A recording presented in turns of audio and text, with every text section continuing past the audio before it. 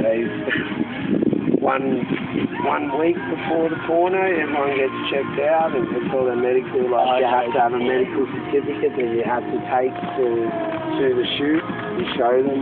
Otherwise, yeah, Well, were in the casting, didn't you have to do any shagging, show them what you had? you had to Just whack on yourself off. Just yourself off.